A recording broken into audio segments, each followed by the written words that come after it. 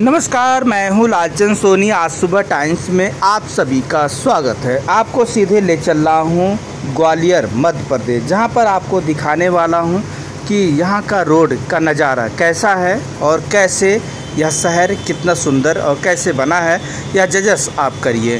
तो आप देखिए, इस वक्त हम ग्वालियर के स्थान पर हमारे खास रिपोर्टर जो है लगातार इस पर जो है अपनी नज़र बनाए हुए हैं। और जो है यह खास रिपोर्टिंग स्वच्छता को लेकर दे रहे हैं। जैसा कि आप जानते हैं कि इस बार जो है बारिश भी हो रही है और साथ साथ हमारे रिपोर्टर चल रहे हैं।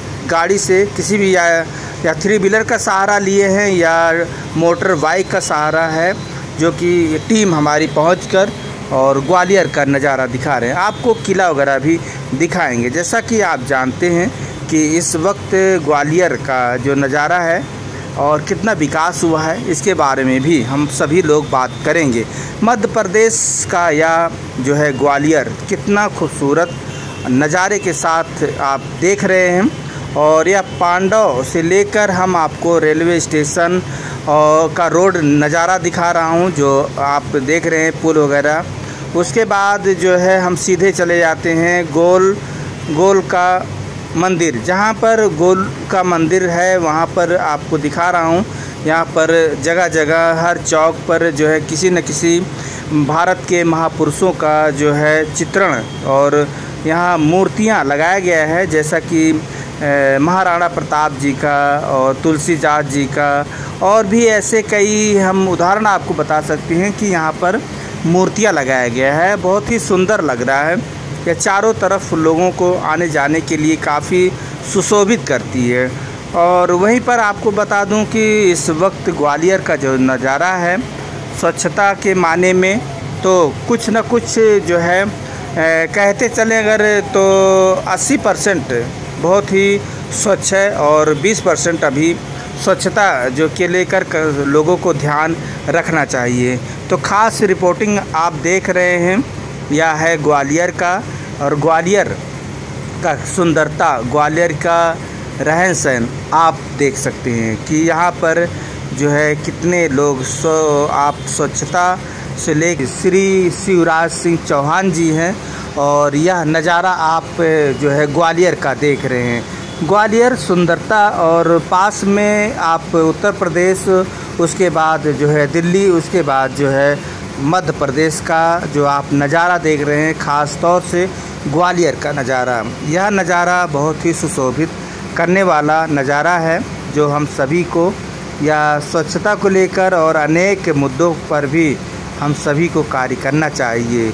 और आप का जो है, जो शहर है, गाँव है या कस्बा है, उसे भी आप स्वच्छता को लेकर भी विशेष ध्यान रखने की ज़रूरत है। जैसा कि हम सभी लोग इस वक्त अगर स्वच्छ, स्वच्छता के बारे में विशेष बातें करते हैं, विशेष कार्य करते हैं तो हम सभी लोग इन्वायरमेंट से पहली बात जो है स्वच्छ रहेंगे। उसके बाद प्रदूषण से हम जो है बचाव होगा और साफ़ सफ़ाई के बारे में भी हम सभी लोग काफ़ी खास ध्यान रख सकते हैं। यह चीज़ें हम सभी को जागरूक करने वाला है और वहीं पर हम एक दूसरे दूसरे को बताएँ कि स्वच्छता के लेकर हम सभी लोग गंभीरता से बातें करें और स्वच्छ, कोई भी इधर उधर जो है सामान ना फेंकें, कोई भी इधर उधर जो है आप पत्तल खा रहे हैं इधर उधर ना फेंकें, क्योंकि गंदगी होता है। या हम सभी को स्वच्छता को लेकर विशेष कार्य और जो है विशेष गंभीरता से कार्य करनी चाहिए। तो आइए हम आपको दिखा रहे हैं, या ग्वालियर शहर, जो क्लीन शहर और हम सभी को स्वच्छता के बारे में विशेष कार्यों के साथ जिस तरह से देखी जाती है, हम उस मुद्दे पे कार्य कर रहे हैं। तो स्वच्छ, स्वच्छता और स्वच्छता होना हम सभी का सबसे बड़ा पहलू है। फिर हम आपसे मिलते हैं किसी मुद्दे के साथ। तब तक जय हिंद, जय भारत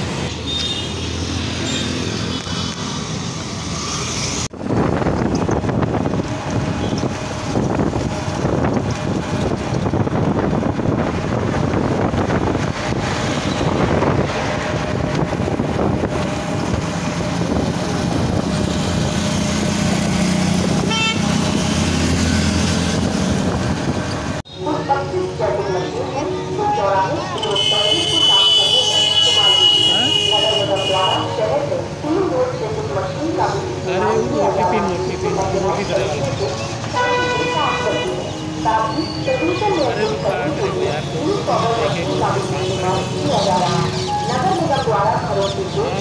व्यवसाय प्रतिष्ठानों से दिन में दो कचरा कलेक्शन किया जा रहा है। वार्डों से कचरा कलेक्शन कर ये वाहन कचरा ट्रांसफ़र स्टेशन की तरफ़ पहुँचते हैं। शहर में ऐसे सात कचरा ट्रांसफ़र स्टेशन का निर्माण किया गया इन कचरा ट्रांसफ़र स्टेशन पर पहले कचरे से भरे हुए वाहनों को जोड़ा जाता है। उसके बाद वाहन को खाली कर। वाहन को दोबारा जोड़ने के बाद गीले कचरे को खाली किया जाता है। खाली वाहन को फिर तोला जाता है। ये संपूर्ण प्रक्रिया कंप्यूटराइज है। इससे सभी प्रकार के कचरे की वास्तविक मात्रा प्रतिदिन के हिसाब से हो? इन ट्रांसफ़र स्टेशनों में खाली किए गए सेग्रीगेट कचरे को बड़े वाहनों में कंप्रेस ट्रांसफ़र कर जाता है सूखे केवल गीले को अलग अलग वाहनों में कर बिलासपुर स्थित सेंट्रलाइज कंपोस्ट प्लांट पर भेजा जाता है यह एवं घरेलू हानिकारक कचरे को मिट्टी के माध्यम से नष्ट कर दिया जाता है की में बढ़ चुका है और आप गर्व से कह सकते हैं कि ग्वालियर सुपर प्लस हाउस में सुपर प्लस हाउस में सबसे पहले तालाबों जलाशयों में भेजा जाता है ग्वालियर में लगभग तीन जगह पर ये प्लांट लगे हुए हैं दो प्लांट जलालपुर पर स्थित है और दूसरा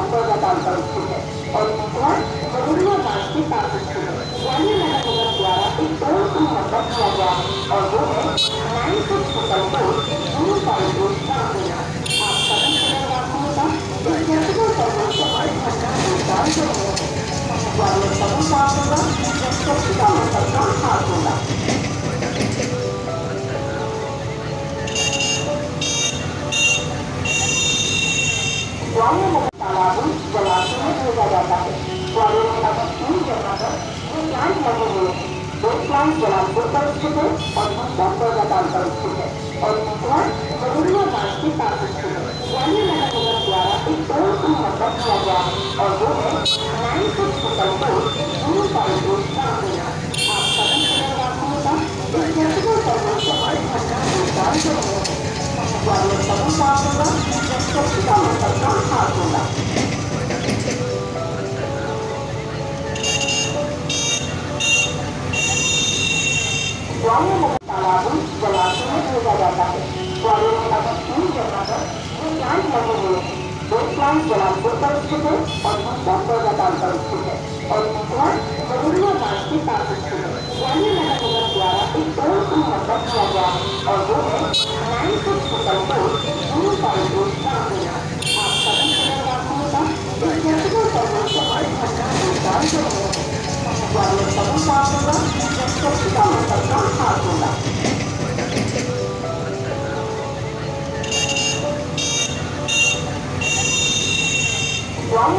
नमस्कार दोस्तों, मेरे चैनल को सब्सक्राइब, लाइक करें और आइकॉन को ज़रूर दबाएँ ताकि आने वाले वीडियो को आपको नोटिफिकेशन मिल जाए।